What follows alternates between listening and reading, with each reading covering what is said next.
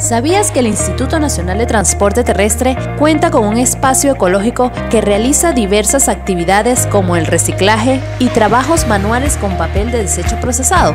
Diariamente, una gran cantidad de papel es desechado en el país, el cual puede ser reutilizado y transformado en nuevos objetos decorativos y útiles para la oficina o el hogar. Con el modelo ambientalista que el Instituto Nacional de Transporte Terrestre promueve a través de su espacio ecológico, la disminución de residuos, reutilización y reciclaje se convierte en algo muy fácil de hacer.